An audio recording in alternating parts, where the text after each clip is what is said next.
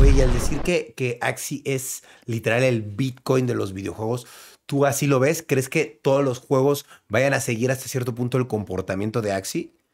Es el referente, ¿no? Es el referente. Siempre puede haber un transgresor, un Ethereum. Siempre puede, puede aparecer un transgresor que te proponga algo nuevo. Claro.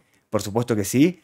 Pero cuando alguien se convierte en el Bitcoin de algo o se convierte en el pilar o sostén de algo, básicamente es el referente. Cuando sos el referente, si te golpean, los golpean a todos. Claro. Si te va bien, le va bien a todos. Y eso es lo que pasa con Axie. Realmente cuando Axie va bien, el universo de NFT Games explota. Ok. Y eso es lo que está sucediendo. Podría cambiar en el tiempo y esto, esto es muy nuevo, podría pasar. Pero de momento hay tanta diferencia que sería el, el juego más, dentro de inversiones de riesgo, el más seguro. Claro. Ahora, vi una noticia, por favor, si me puedes eh, corregir. Vi que, que recuperó la inversión inmediatamente, Axi, ¿no? Que tuvo una inversión de los juegos con retorno más rápido, ¿no? Fue brutal. O sea, hoy por hoy el retorno común de Axi lo tenés, si no reinvertís, ¿no? Si vos metés dinero y sacás solamente, lo tenés en dos meses y medio, que para cualquier inversión es una brutalidad. Súper. Pero en su momento también fue de 10 días, cuando, cuando llega el hipercrecimiento. Cuando iba empezando. ahí era de 10 días. Ahora se mantiene estable. Mantiene, es el, el retorno es de dos meses y medio.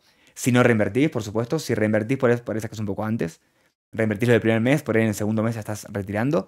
Pero anda por ahí, más o menos. Ok, está súper bien porque si tienes, no sé, un dinero guardado, en vez de tenerlo guardado, puedes invertirlo en estas cuentas de Axi y pues empezar a jugarlas, empezar a ganar dinero. Y si ya no las quieres, las puedes revender y no perdiste dinero. O nunca. emprender. No las querés jugar, pero querés que la gente juegue. Entonces pongo cuentas para que las juegue un tercero Claro. y distribuimos la ganancia. Claro, Claro. ganas menos porque no las operas vos, pero en definitiva es un ingreso pasivo. Claro, igual y recuperas eh, el dinero a lo mejor a cuatro meses, a cinco, pero no estás haciendo nada. Depende, porque vos lo que haces es reproducir tus axis para tener más cantidad de becas. Entonces lo recuperas Mm. igual, porque es verdad que cada cuenta te da menos, pero vos vas creciendo la cantidad de cuentas y eso termina aumentando la producción. Oh, o sea, esto que me decías de reproducir a los Axis. Correcto. Si, por ejemplo, yo tengo seis Axis y tengo tres cuentas, ¿puedo hacer que se reproduzcan dos de una, dos de otra, dos de otra y sacar otra, y sacar otra cuenta? Sí, literal. Lo que no podés, hay, hay- hay un tema de incesto, ¿no? No Ujú. pueden ser padres con hijos ni hermanos. Ok. Pero después, ya abuelo con nieto, ahí se, olvídate, no hay más incesto en Axie Infinity. Hasta ahí, hasta ahí no llega. Ok. Pero ok. padres, hijos y hermanos no se puede. Después, se si vos puede. tenés en cuenta esa regla, los puedes reproducir para sacar nuevas cuentas. Y, por ejemplo, los reproduzco, tengo estas tres cuentas diferentes y tengo a tres personas diferentes jugando. Saco una cruza de acá, otra de acá, otra de acá. ¿Y cómo creo una nueva cuenta? O sea, tengo que abrir un nuevo usuario. Vas nuevamente a la página web, abrís una nueva, un nuevo usuario, haces una. ¿Sabes lo que usan? Se llama Ronin, es una red propia. Haces una wallet de Ronin y en base a esa wallet vos te puedes crear tu cuenta. Y de ahí viene el enfoque. ¿Por qué se puede hacer de forma segura? Porque hay dos formas de acceder a tu cuenta. Una es por wallet y la otra es por usuario y contraseña. Si accedes por usuario y contraseña, puedes básicamente jugar nada más y cambiarte el nombre dentro del juego. Porque cuando quieres acceder a los fondos, te va a pedir que firmes en la wallet. Y como no la tenés, no puedes. Ok. La única forma de tocar fondos, y fondos es criptomoneda, NFT, cualquier valor del juego, bueno, ahí es acceso por wallet.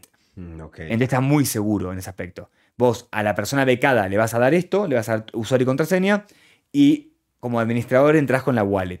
Entonces, si vos reproducís, vas a la wallet, pones como el Metamask, crear cuenta, tenés una segunda cuenta, y a esta segunda cuenta le pones un usuario y contraseña para que Mm, pueda usar, entrar el nuevo becado. Ok, está súper bien. Entonces, digamos que de tres cuentas, si tú ya tienes tres cuentas, puedes ahorrarte abrir una cuarta, pues simplemente cruzando los axis. Claro, en realidad la estás pagando, pero más barata.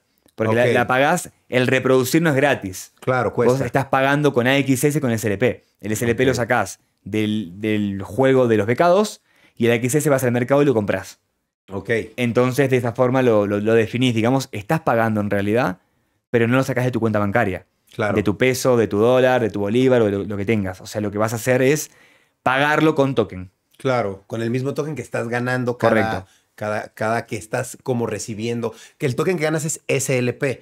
SLP, que es un token ilimitado, Ajá. inflacionario, y para parar la inflación del token hay métodos de quema, que es justamente la Ok. reproducción.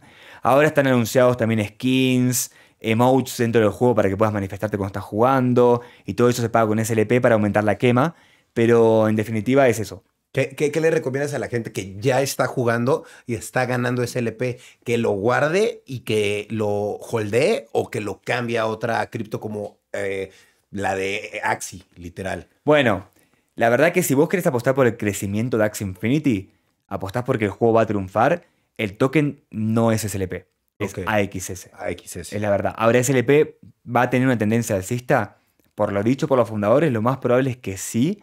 Entonces lo más probable es que los 0,8 centavos que vale ahora cada uno suba nuevamente a 14 centavos, 15 centavos dentro de poco tiempo. Me refiero un mes, un mes y medio, dos. Pero la verdad es que si apostás por el proyecto es AXS, que es el token de gobernanza. Es el Claro. token que realmente mide el éxito del juego. Ok, entonces si yo quiero invertir en el juego sin invertir en becas, sino solo quiero tener dinero para yo poderlo mover, ¿me recomiendas que lo meta a AXS? AXS. Es el de gobernanza. O sea, pensarlo de esta forma. No solamente tiene una función que es reproducir, sino que al mismo tiempo el hecho de que sea un token de gobernanza le da un valor intrínseco. Porque por vos tenerlo, podés decidir sobre cosas de Axie Infinity. Ok. Entonces ya tiene un valor per se el Claro. token. Ahora, si yo tengo SLP, ¿también eh, tengo este valor o no? Es de utilidad. Entonces no utilidad. hay nada de valor de devoto, es de utilidad. Hay una demanda que, de SLP por el hecho de que tienes que reproducir Axis, entonces lo tienes que comprar. Es de utilidad, pero no es de gobernanza. O sea, no vas a... El éxito de Axie Infinity no se va a medir en SLP, se va a medir en la. XS. Ese es el tema. Entonces, por ejemplo, si quisiéramos darle, sé que es complicado dar consejos, ¿no? Porque pues es todo relativo y pues todo es de alto riesgo, pero digamos que yo tengo mi SLP que estoy ganando cada, cada 15 días, cada mes, ¿no? ¿Qué debería hacer con ese SLP? ¿Lo cambio a, a XS si confío en... en... Mira, si querés Axie. algo un poco más seguro, lo pasas a XS. Están a nada de sacar el stacking. Así que en cuanto salga Súper. eso, el precio va a subir. Entonces, prácticamente por la información que ya es pública, hay una apuesta bastante segura a que va a subir. Claro, Es lo más probable. Nunca se puede estar seguro al 100, pero Sí, es lo no. más probable en base a las cosas que han anunciado. claro. Entonces, apoyándonos en una teoría más fundamental, lo que han anunciado implicaría un aumento en el XS. Ahora, yo quiero preguntarte, porque me interesó mucho esta parte de que apenas llevan el 8% del juego. O sea, tú, o sea, yo lo veo y digo, es un juego de cartas, es un juego de monstruos, pelean. ¿Qué más se le puede hacer? Es que es mucho más que eso. Es- ahí viene el tema. Esports de Axie Infinity va a ser enorme. Pero yo lo tuve esto en, calls con los desarrolladores.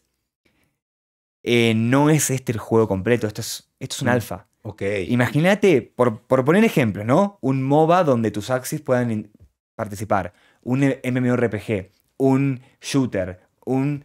Que para todo puedas usar tus Axis. Que haya un abanico de juegos en los que puedas usarlos y aparte generar criptomoneda. Bueno, Genial. El, el- el enfoque, la visión que tiene a futuro es gigante. Es, es gigante. Entonces, el juego actual es solamente como esa punta del iceberg, es la primera parte de lo que se viene. Claro, que ahorita lo único que se puede hacer es interactuar y pelear entre los axis y mezclarlos entre ellos. Es probarlos, básicamente. Claro, Es probarlo. un juego de prueba que sacaron como alfa y que ni por casualidad pensaron que iban a llegar tan rápido a los 2 millones de jugadores. La verdad es que especulaban, no sé, tenían menos de 80.000 jugadores especulaban cerrar el año, año con 100.000. O sea, realmente un crecimiento más lento, más tranquilo. Y no importaba porque estaban en alfa, el juego estaba lejos de ser la versión definitiva. Entonces, no importaba, era. Funciona el sistema de genética sí, funcionan los axis sí, se pueden reproducir, se pueden interactuar, estamos usando el código del axis para jugar un juego sí. Por ahí ni siquiera ese iba a ser el juego que iba a conocer el mundo. Claro, Pero explotó el alfa y bueno, este es el juego que tenemos hoy. claro. Pero el juego es tan profundo lo que, lo que viene después, Claro. con la capacidad de invadir tierras, de que hayan facciones. Imagínate que hayan Claro. facciones luchando por el control de las tierras. Bueno, hay un enfoque tan profundo que no, le falta mucho, le falta Sí, mucho. claro, porque a fin de cuentas esto es nada más literal que interactúen entre ellos, pero a lo mejor al ratito pueden interactuar, como tú dices, como un shooter, o pueden a lo mejor eh, ir a conquistar tierras, como tú dices, o se- el mismo Axi, pero hacer mil cosas diferentes, ¿no? Y no solo eso de esa opción de batalla, ¿no? Mil más. Ahí viene lo rico del juego, que la gente, ah, no, Axie Infinity son este, estos Axis peleando. Es que no, o sea, sí es hoy, pero es mucho más. Claro. Y uno por eso digo hay que leer el proyecto para ver hasta dónde puede llegar. Claro. Cuando lees el proyecto decís, ah, la ambición que tienen. Es más, cuando hablo con los desarrolladores, siempre termina la call, compro XS. Porque me convence, porque digo, uff, los proyectos que tienen. El Ok. XS va a dispararse. Entonces termino holdeando más XS. Más que SLP. SLP lo uso yo como utilidad. Lo tengo, lo quemo. Lo tengo, lo quemo. Lo tengo, lo quemo. Le pago los becados, lo tengo, lo quemo. Es de utilidad.